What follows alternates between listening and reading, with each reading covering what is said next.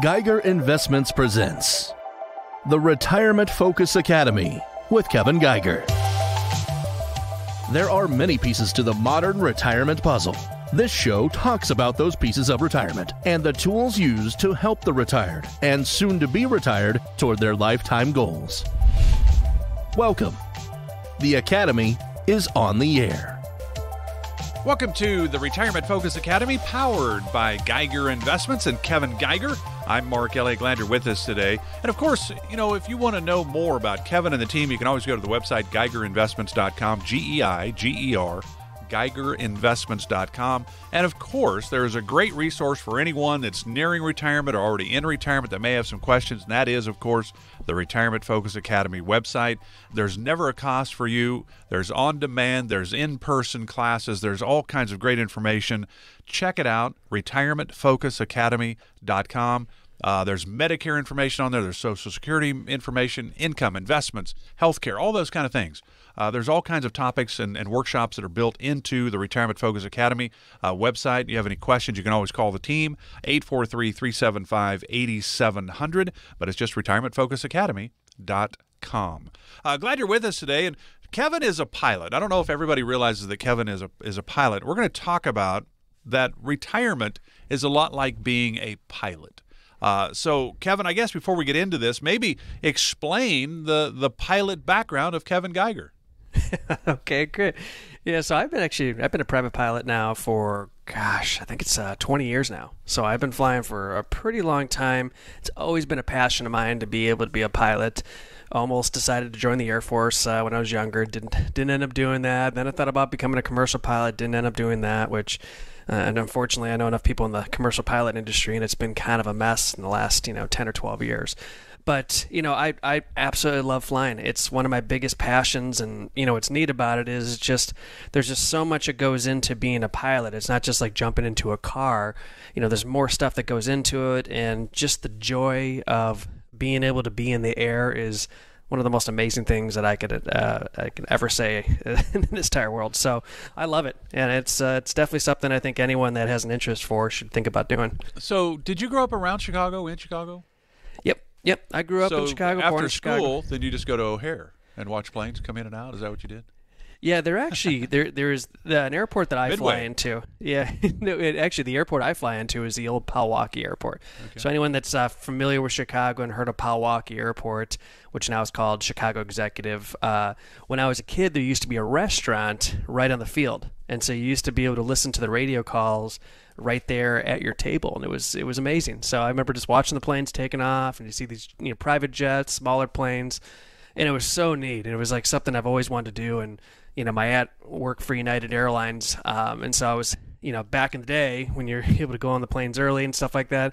I was able to go in the cockpit and sit there and, and play with the controls. I mean, it was it was such a neat time, you know, when I was younger versus oh, yeah, today. That's awesome. Yeah. Uh, but it was always something I've always wanted to do, and and definitely took this on, on on my private end to be able to you know enjoy my passion and things so, like that. How old were you when you started to, to get your own private pilot's license? And then what is the process like? Because I imagine you just don't know, go down and you do a couple touch and goes and you're, you got a license. It's probably a little more complicated than that. Yeah, no, there is. Uh, you know, so when I, I finished college is when I decided to finally start getting into it. You know, I, I just gotten into my career.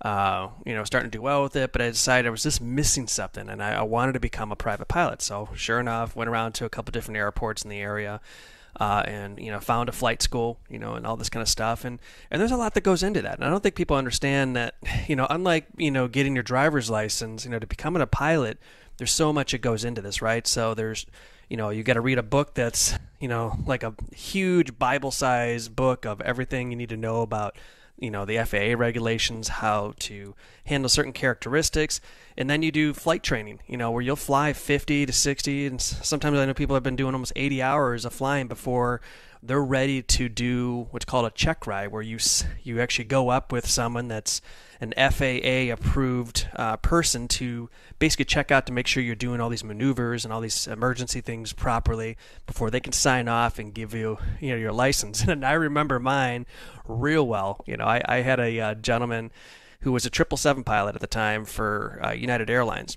and he put and a triple seven pilot means what? Basically think of the Boeing 777 plane. Okay. So that's what he had flown. And he had thrown me through the wringer. I mean, I, I through every emergency thing I could possibly think of. And, you know, you just want to break down and cry because you're like, you know, I'm going to fail this thing, right? And I just kept fighting it and figuring everything out I could try to figure out. And then we land, and I'm I'm literally like, I'm done. I failed. I'm done. I'm not going to be able to do this. And you know, he's, he's he says, okay, shut the plane off after we parked. He looks over to me. He goes, you know what? I'm passing you for one main reason. You know, he's because I threw a lot at you, and you know some things weren't done uh, oh, a hundred percent, but then other things you were doing fine, and stuff like that.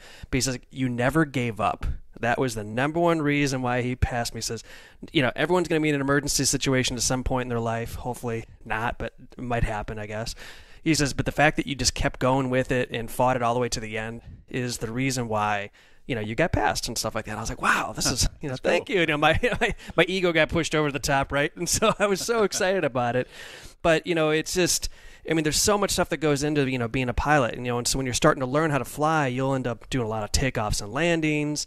Um, and all that kind of stuff. You learn how to, you know, read checklists. You know, checklists is a huge part about being a pilot. You need to be able to go down a list every time you're flying. Before you, you know, even start the plane, you're doing what's called a pre-flight walking around the plane, checking all these things, checking the fuel to make sure there's no water in it. There's so many things that go into it, right? And then when you get in the plane and you start flying, you got to go through the checklist. You know, before you start the engine, you know, when you're getting ready to take off, as you're climbing out, as you're descending to land.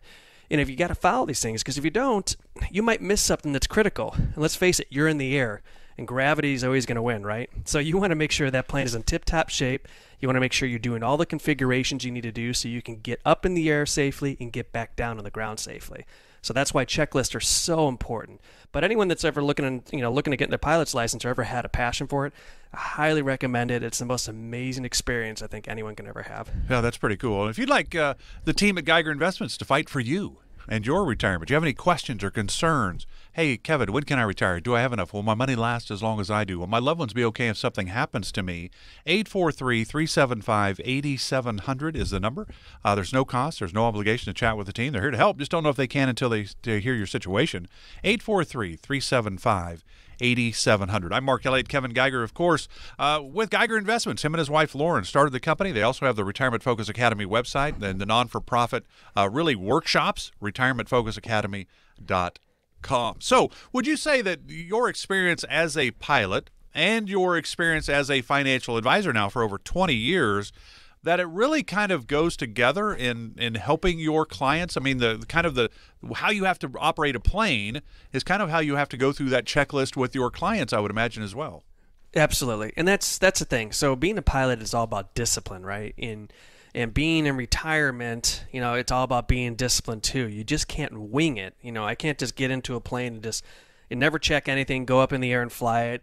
Because what happens if uh, I have no fuel in the plane? You know, what happens if I have no oil in the plane? You know, there's all these things that come into when you're using this checklist. And so every time I go fly, I'm always going through those checklists. Well, it's the same thing when we sit down with people. You know, as a financial advisor, I've brought my my pilot skills, if you want to call it, into my financial investment world where you know every time we sit down with a client i'm going through a checklist whether it's in my mind or on the ones on paper that we go through to really check off each box to make sure that we're covering everything that's important that we know is going to be important for you and things that you might not even thought about and make sure we're crossing the t's and dotting the i's because it's real important to you know follow these you know little checklists when with any time we sit down with someone new.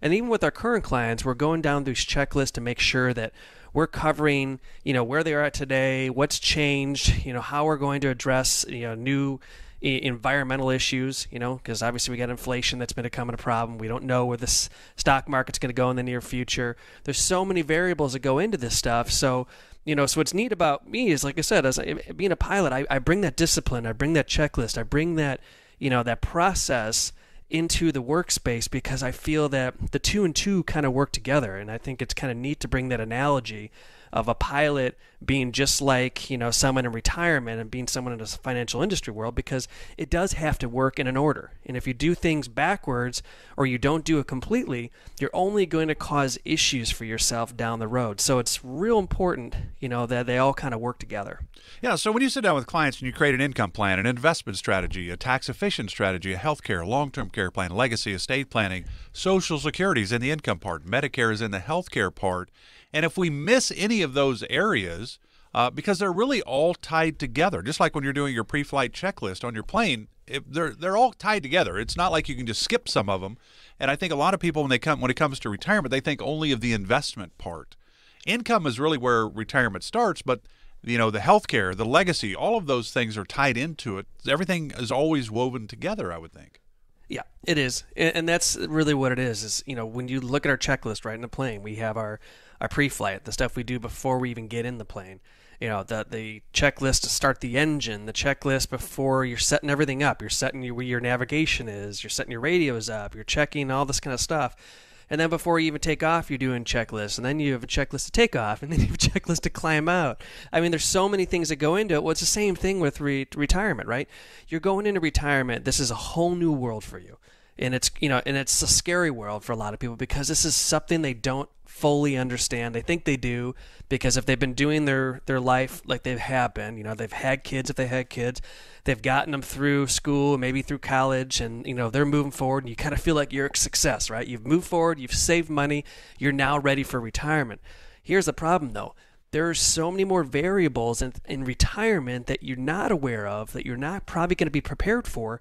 So, sitting down with a professional who's going to go through these checklists to make sure that we're checking off all the areas. Do we have the healthcare situation figured out? Because you know Medicare is a big piece of the puzzle, and you've got to make the right decisions with Medicare the day you become eligible. Because so many times, you know, with our other company, Carolina Medicare, we've seen there's too many mistakes left, uh, you know, out there that people aren't doing things, or sometimes they just take Part A and Part B, which is the original Medicare, and don't add anything else to it, and now they're exposing themselves to a 20 percent you know, expense every time they get sick and things like that. And then they try to go into a new plan down the road and the problem is now they have to go through underwriting because they missed that opportunity to get into it. You know, or like I said, you know, maybe you have a younger spouse. What are you doing to ensure that younger spouse is going to be financially sound if and when you were to pass away? You know, there's all these things. You know, a lot of people are like, well, I know I'll just have money saved up but maybe you should set up different plans and structure things out properly so you're doing what's right to take care of that spouse. I mean, there's so many things that go into this thing, but that's where our checklists come into play. This is when we sit down and we look at everyone's situation because everyone's going to be unique and different and that's what's so neat about this industry is even though we do a lot of things the same you know with checklists and things like that everyone's situation's different so I actually get joy out of building a custom plan that's going to be perfect fit for what their needs are going to be. But you won't know that until you sit down and go through that checklist to figure out where the weaknesses are, what needs to be addressed, and performing a plan that's going to be executed properly so you can go through your retirement successfully and you can make sure that your spouse and your family are taken care of in the end. That is the number one thing that everyone needs to be doing to be successful. 843 375 8700 if you would like to talk with Kevin and Lauren and the team at, at Geiger Investments uh, about where you are on your road to retirement. 843 375 8700. Again, there's no cost for this chat. There's no cost to even come in and sit down and talk with them either. 843 375 8700. If you just want to do a little due diligence on your own and try to find out about some de- different areas of retirement that you're not really sure about, you can always go to the, the, the non for profit website, uh, Retirement Focus Academy. There's a bunch of workshops on there, all different topics related to retirement.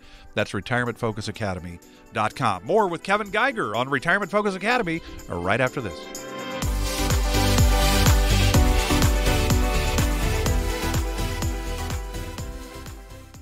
You know what you want to do in retirement, but do you know how to get there? Get the retirement planning information you need by joining Kevin Geiger of Geiger Investments for the Retirement Focus Academy. What's the best way for you to take Social Security? When can you sign up for Medicare and what does it actually cover? What and is there a way to lower your tax bill? These and much more will be discussed. To enroll in an upcoming virtual Retirement Focus Academy course, visit retirementfocusacademy.com or call 843 790 9293 Plan today so you can do the things you've dreamt about doing in retirement. Sign up for the Retirement Focus Academy with Kevin Geiger of Geiger Investments at retirementfocusacademy.com or call 843 790 9293. Advisory services offered through Blackridge Asset Management LLC, a registered investment advisor. Securities offered through Peak Brokerage Services LLC, member FINRA SIPC. Blackridge Asset Management LLC and Geiger Investments are separate and independent entities from Peak Brokerage Services LLC. Our firm is not affiliated with the U.S. government.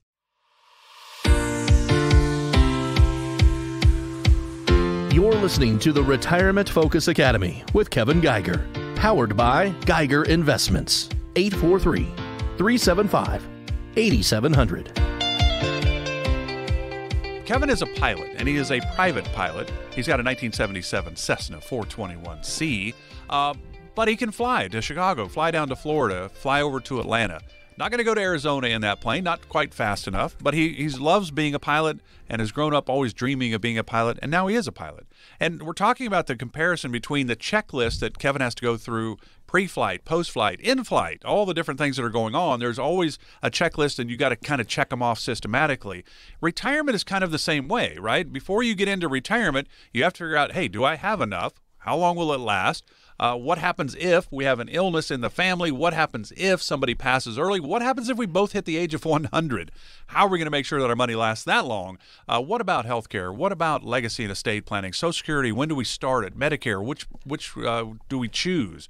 Uh, there's so many different parts of retirement, and we're kind of talking about the the kind of the similarity between being a pilot like Kevin and what he does for his clients at Geiger Investments. If you'd like to learn more, you, you have questions yourself, you can always go to the uh, free website, the non for profit website that Kevin and Lauren started. It's retirementfocusacademy.com. There's a bunch of different workshops, all topics related to retirement on there. Uh, there's on demand, there's in person classes, there's just all kinds of options. That's retirementfocusacademy.com com. Now, we are at the end of August. We're, we're, we're moving along. We're, this year has been interesting for sure. Not as crazy as last year, but there's still some interesting parts. And Kevin, you've got kids. They're in school. Uh, they're back in school, and I'm sure everything went smooth. Everything was, yeah, sure, whatever you want to do. You want to wear a mask? Go ahead. If you don't, that's fine. Probably no controversy in, in South Carolina on that. it's it was quite interesting. I, I will tell you, they uh, they really tried to push the mask mandate two days before school started. And of course, they they lost the battle because everyone kind of came at them the day after. But it's amazing to finally have the kids back at school. You know, have our lives back on track in a sense. Uh, you know, they they definitely need to be entertained as much as possible. You know, with only so many camps we can sign them up for, and so having them back at school has been an amazing thing. Uh, and kind of getting back to you know back to life, if you want to call it, and kind of moving forward. So, but yeah, so I got yeah. an update. I got Isabel now as a senior. Yes. Yep. And she's Kayla's going to fourth. And fourth grade. Blake's a first grader now. Yeah, wow. yeah, senior. So, so my they just keep my, on going, don't they? Yeah, and Isabel, she's starting to look at colleges now. So she's she's thinking Clemson, a couple other schools. So now we have to do the tour. So this is this is the fun part. Now Lauren, on the other end, she's she's like, no, no, no, no. I'm taking her on the tours. You just stay home and watch the watch kids. the other kids. I'm like, well, this is not fair. I want to go see these schools and stuff like that. so, um, so, but it's it's a neat time for her, you know, especially with high school now because she's completed so many credit hours that she pretty much has half half day schools now. So, you know, this semester she's got a half day. Next semester, I think she goes in at like 11 and she's done by like 1:30 or something. It's crazy. So unlike my days in high school, where you know senior year we were there from the mo- beginning of the morning until the end, there was no such thing as early, you know, late start and early release, as far as I remember. So uh, so good for her. You know, she's done really, really well in school, and you know, I can only hope the best for her with wherever she decides to go. Yeah, absolutely. That's cool. So school is underway, and uh, we hope everybody makes it through unscathed, and the teachers do as well as the administrators. It's a, it's a different time. I can tell you that being in school in the '70s, like I was, so uh, it is different. But you think about retirement retirement is totally different than my grandparents you know back in the 70s when they were retired. It was it's totally different. They had a pension they had social security. They had they didn't really need any income because if they did they could just put money into a cd and get 10 12% and they're winning the game basically all the time. Income was not a problem. Today's retirees it's more about income. Where's your income going to come from? Because most of us don't have retirements. So we're talking about the checklist that you have to do as a pilot before you get on the plane, when you get in the plane, you start to do things, and when you get done. There's a there's a post-flight checklist as well.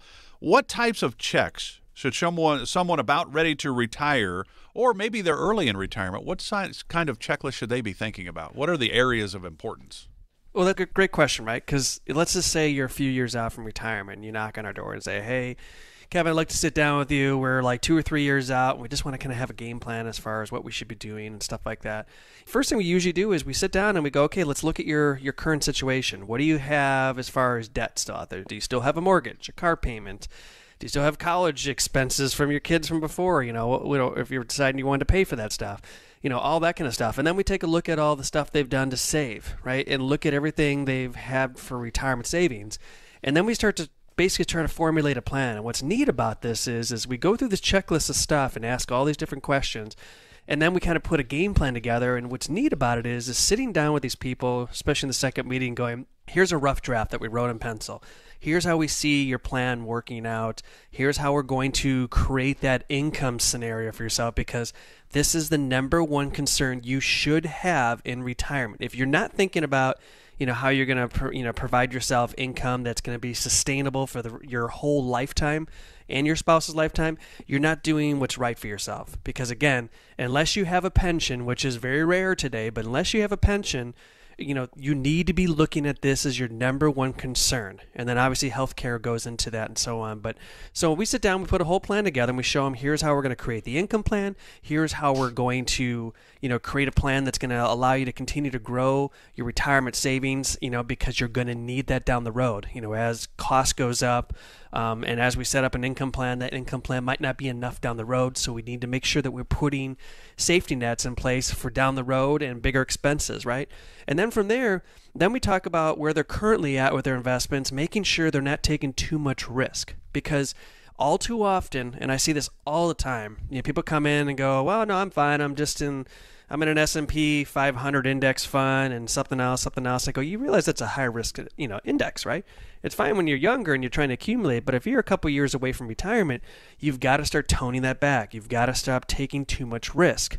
We've got too many variables today that this is this is not like six seven years ago when the market was just bonkers and just continued to go. It didn't matter where what stock or mutual fund or ETF you bought, they're all doing fantastic. Well, now we have inflation. Now we got COVID.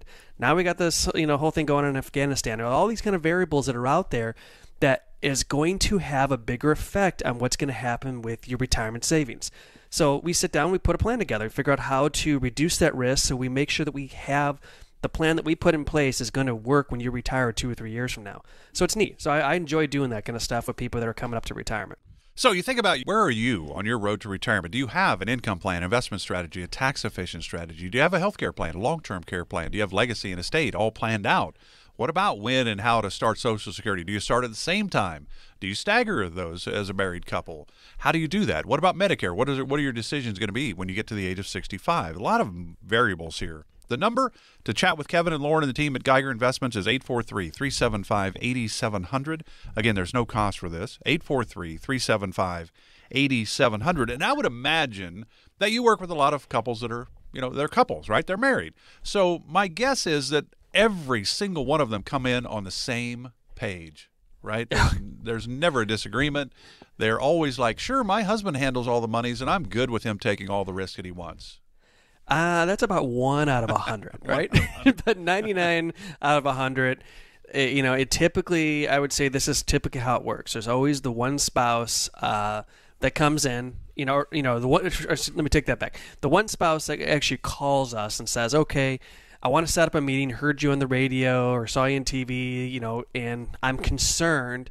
You know, can we set up a meeting? Sure. And so they set up the meeting and, and there they are, the husband and wife come, you know, walking in, and, and a lot of times, you know, we get a lot of phone calls from the wives. Um, they, you know, and they love meeting with Lauren, especially. So a lot of times we'll do a joint meeting where it's me and Lauren meeting, because we feel like it's important to bring both perspectives because this is the one thing that you get a little differently in our office. When we both get to meet with you, you know, she's looking to make sure that she's making sure that the wife is being heard, making sure her needs are there, making sure we're addressing all that stuff. Meanwhile, I'm sitting there, kind of like an overall person, looking at what where he's at, figuring out what his concerns are and things like that. But a lot of times we sit down.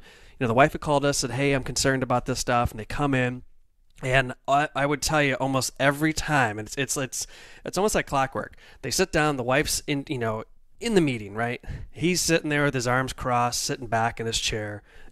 you could tell he doesn't even want to be there because he's got it all figured out, you know. And that's that's and they've been. He's like, I've been making so much money in the last ten years in my 401k. Why do I need someone like this? So what's neat is, is you know, we sit down and I start asking tons of questions. I start addressing things that they're, not, I know for fact, a lot of them they're not even thinking about, both of them. And all of a sudden, you'll start seeing him creep his chair in. You'll see him move his chair forward. His arms go onto the table, and you're finally realizing I'm finally getting his attention, right? And so what's neat about this is, now all of a sudden, you know, I look at him and go, I get it. You you thought you wanted to do this on your own, and you probably could. But why would you want to risk destroying your retirement going forward? You know, all these little plans you had, whether you're going to play golf five days a week or whatever the case would be, why destroy it when you can work with a professional that's going to make sure everything is covered, right? The T's are crossed, the I's are dotted. We're ensuring that we're building an income plan. We're ensuring that we're not taking too much risk with the portfolio. We're ensuring we're having your healthcare situation figured out. And then we're building a legacy plan if you want to pass assets on to your kids, and we'll show you a way to be strategic about doing that without affecting your retirement savings so you can enjoy your retirement because that's our job. Let us do what we need to do so you can enjoy your life it's well worth the cost of working with someone like ourselves to make sure that there's no mistakes made that you could easily make on your own. So I love when we sit down with those people because it's so neat just to watch the, the other spouse just sit there in the chair. I mean, there's nothing better watching right, the arms right. crossed. so, now they're engaged. Yeah. So yeah, and it's yeah, great to get them never engaged. Thought about that. Yeah. So once you meet with your clients and, and prospective clients and like couples like that, for example, um, I think you know a lot of people have, have sat down with insurance agents. Hey, I need home insurance, I need life insurance, I need car insurance, whatever it is that they're you know as you're as you're working through your working years, and may have a stockbroker that helps them grow their money. It's all about growing our money, that, and certainly those are important. But my guess is most have never sat down with a company like Geiger Investments, a retirement planning group, here to help put things together, but then to be with them for the next 30 or 40 years. How does that all play out? Well, that, that's just it. You know, we are really geared towards retirement people, right? People going into retirement, and we focus on being a part of their life. I would say it's you become a part of the Geiger investment family. We want to become a part of your family because we want to make sure that we're doing everything that needs to be done. We're about reducing risk and making sure that we're covering all, everything that needs to be there for your retirement. You know, working with a stockbroker, he's not going to be the person that's going to be looking at your health insurance, looking at making you tax efficient in retirement and doing all these things. That's what we do. We cover those areas because it's important that you're doing the right things for yourself in retirement. We're not in the growing stages anymore we're in the preservation stage, right? And and creating an income stage and all these other things. You need to make sure you're working with an individual that's going to be doing the right things so you don't run out of money in retirement. So again, that number, if you'd like to get this whole process started, there's no cost and, and there's no obligation either. You come in and sit down with the team. You, you, it's not like you're a client of Geiger Investments. There, this is a two-way street. You're the CEO. It's your retirement. It's your hopes and dreams. Kevin and the team at Geiger Investments are your CFO. Look at it that way. They're the chief financial officer. Here's things maybe you didn't think about that really you should think about. Here's kind of how we put this together and that's the idea. You come in and you find out, and you're going to, you know, what you don't know, you don't know. So it's a great opportunity to sit down with the team at Geiger Investments. It's 843 375 8700. There, again, there's no cost, there's no obligation, there's no pressure, there's no judgment either. Kevin and Lauren and the team are here to help you live the retirement that you've always hoped you can. They don't know. They don't know if you can. They don't know what your hopes and dreams are yet. That's the idea. You call Let's talk. 843 375 8700 again is the number. 843 375 8700. And I would always encourage you to check out the retirementfocusacademy.com website.